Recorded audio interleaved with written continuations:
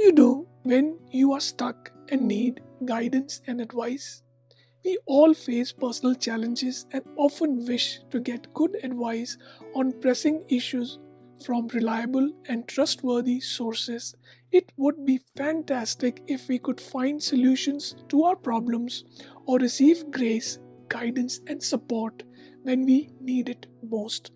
The approach discussed in this video is different from the traditional planning and action mindset. In conventional approach, you set a goal and work towards achieving it, which is good. But what do you do when you are stuck and need guidance and advice? What do you do when you need clarification on a fuzzy situation that doesn't have a black and white answer? Who guides you when the answers don't come naturally and the problem stares you in the face? How do you uncover what is preventing you from moving forward or seeing possible solutions? How can you shift your perspective to see or look at the situation in a new light? How can you calm your mind to access your intuition or get clarity when confused and overwhelmed? This video focuses on sharing techniques to answer all these questions. A one line answer to all the questions mentioned earlier is that you need to learn how to connect with your source to receive the guidance and grace you need. You don't have to seek guidance from anyone or anything external. The good news is that grace and guidance are available to all if we pay enough attention to our hidden resources. The advice and wisdom you need already resides within you. You need to know how to tap into the depth of silence and connect with your inner source. But you must understand how to access this inner intelligence. It's vital to regularly align with the source rather than treating it as a one time event.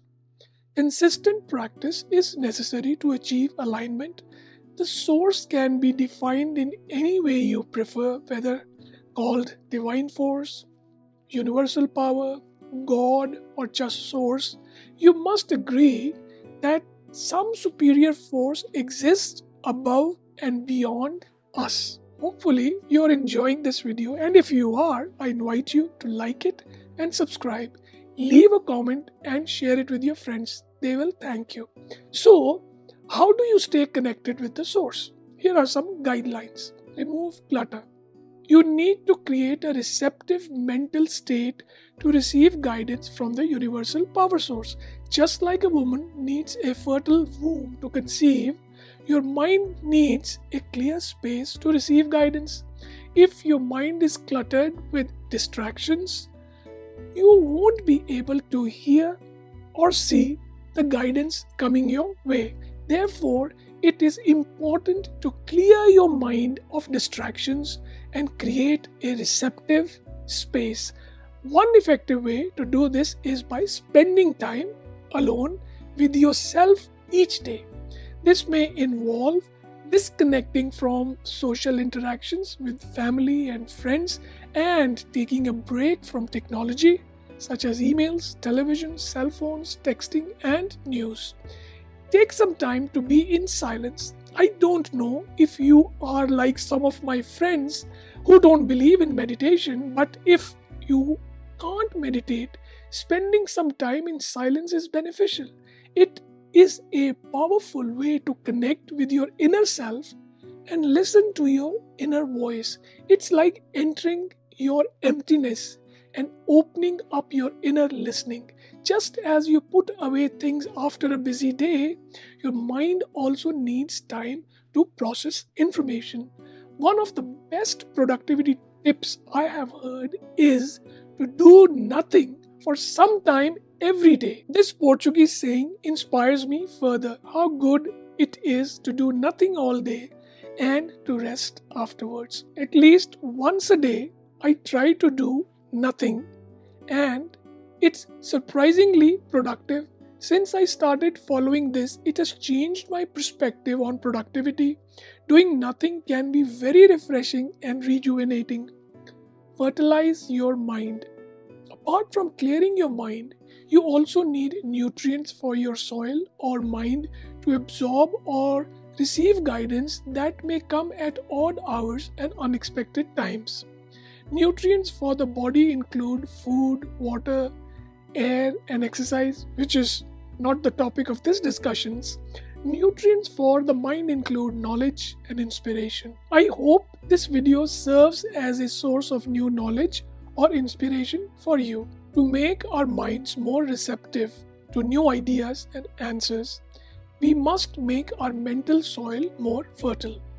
There are several ways to do this. You can study something or someone in depth, read a book worth your time, and take notes to stimulate your imagination. Alternatively, you can follow an author and examine their work.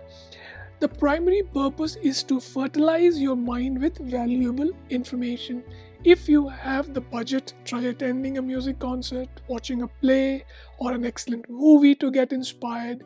If you are into fashion, visit a fashion show. The important thing is to choose an activity worth examining and going deep into, which can stimulate your imagination and feed your mind with valuable information.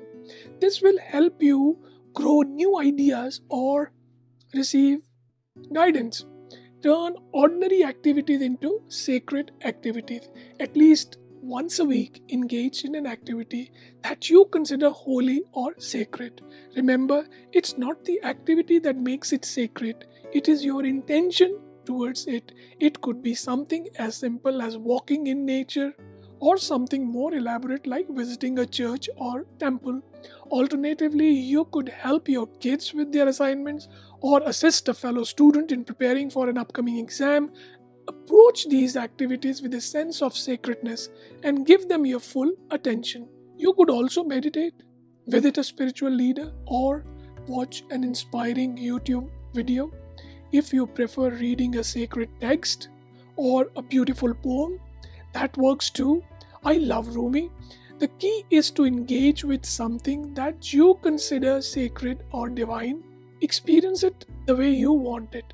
You may argue that you don't have time for all these activities, but I won't let you off the hook. It is essential to separate yourself from your daily routine and connect with the sacred, even if it's just for a short period. Transform your routine activities into sacred ones by using your imagination.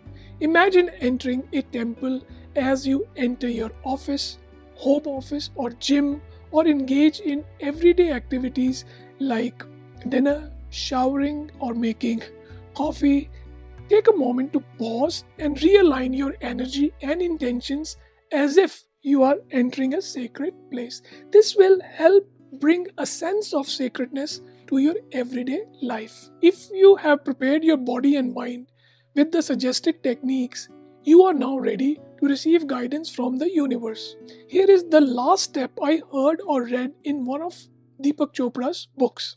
Ask for the answer from the universe. Deepak Chopra suggests that you can manifest answers to your questions by asking the universe. Type a question into the cosmic search engine using your thoughts, and you will draw towards the answers. The cosmic search engine will ping all the websites to find an answer for you.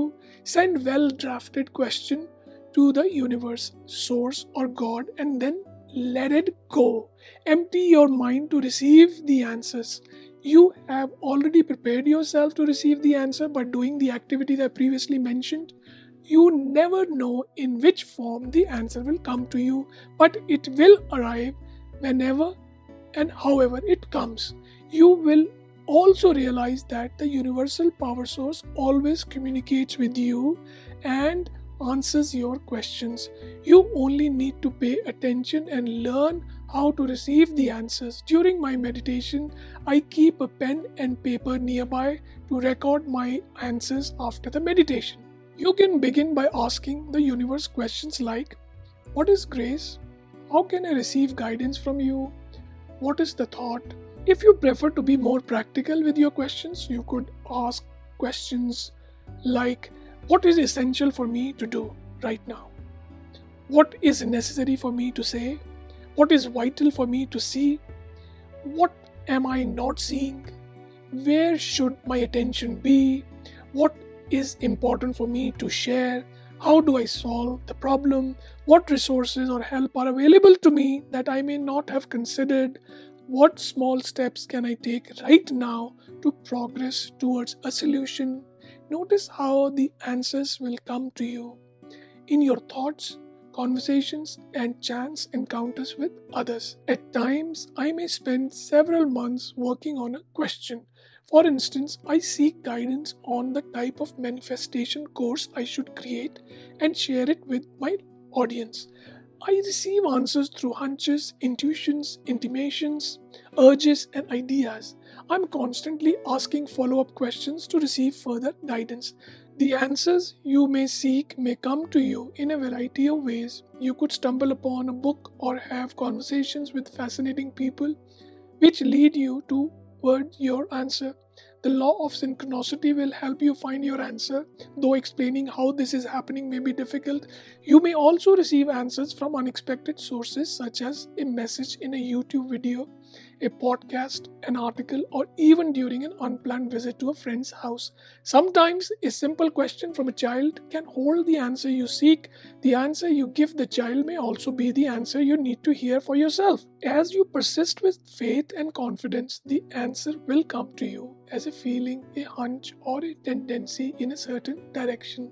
It will come to you clearly as an inner silent awareness. The answer always comes provided you trust the working of your deeper mind. Remember always that what you are seeking is seeking you. So, ideas worth remembering, guidance, and wisdom are available within through connecting with our inner intelligence. It is important to clear your mind of distractions to receive intuitive guidance.